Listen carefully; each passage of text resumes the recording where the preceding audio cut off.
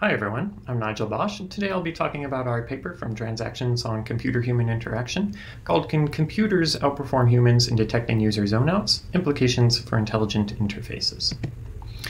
So in this paper, we were curious about mind wandering and its role in human-computer interaction. So mind wandering occurs when one involuntarily shifts attention away from the task at hand.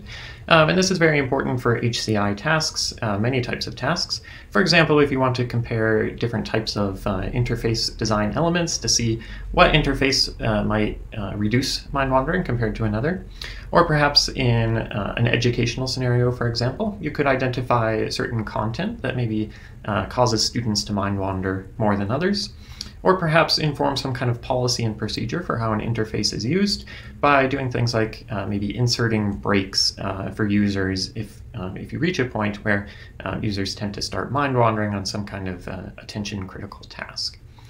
Um, and there are many other possible um, scenarios where mind wandering is very relevant, but all of these, uh, to a certain extent, rely on uh, being able to measure mind wandering.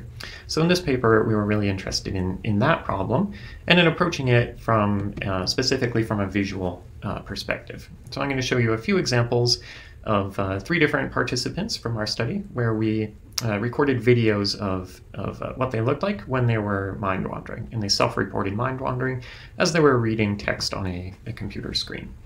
So there are three examples here, just some uh, some frames from videos um, taken right before the, the moments where they self-reported mind wandering.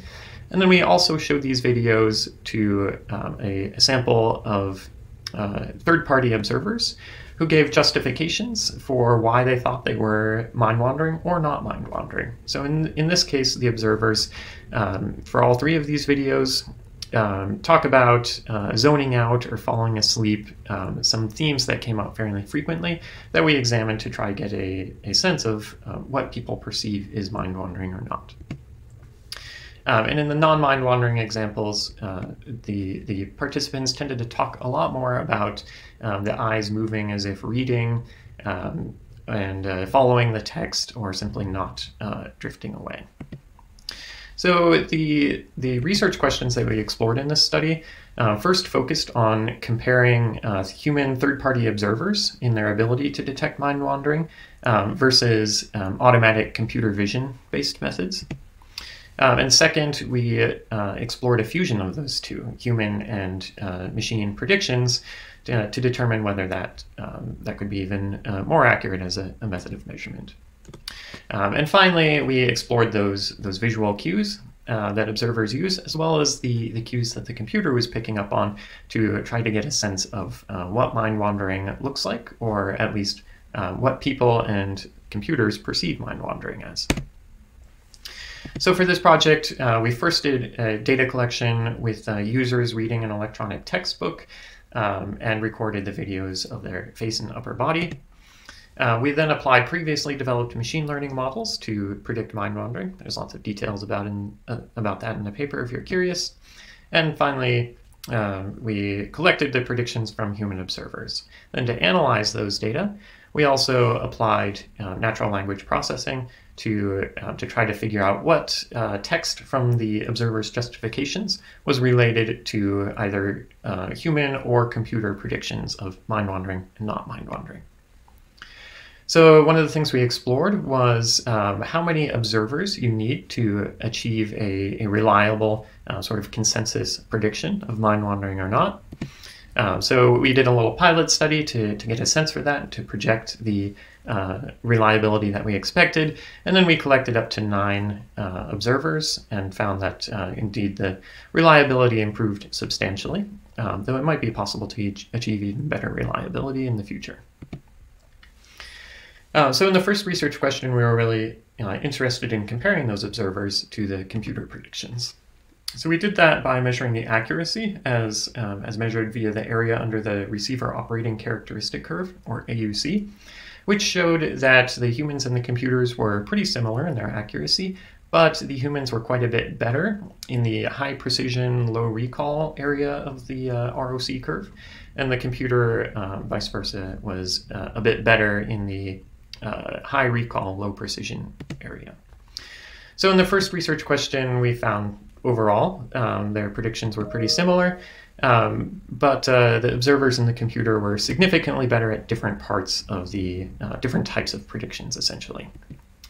So in the second research question, we explored fusing those two sets of predictions, the human observers and the computer predictions. The fusion uh, accuracy was uh, significantly better than the observers and the computer. Uh, and we also explored how many observers we needed and found that uh, three or more observers were needed to significantly outperform the computer alone. Uh, and observing uh, case, only case, cases where the computer predicted mind wandering also significantly improved accuracy. So if we took only the uh, the subset of instances where the computer predicted mind wandering and had observers only look at those, uh, that was also significantly better than using the computer alone. So in the third research question, we, uh, we dove into those justifications that uh, observers provided, uh, which serves as a sort of um, textual summarization of what was going on in the video clips. So we looked first at the, um, the correlations between um, n-grams or um, uh, sets of consecutive words in those judgments versus the judgments that the observers themselves made. Um, and we found that uh, observers were really looking at things like reading, following the text, uh, when they said that people were not mind wandering. Um, whereas they were more um, uh, looking at things like closing the eyes, perhaps um, falling asleep when they judged that people were mind wandering.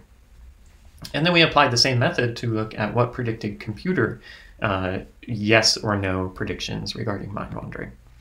Uh, and the computer was picking up on different things, um, especially yawning, uh, rubbing the eyes, uh, and hand movement as well as body movement.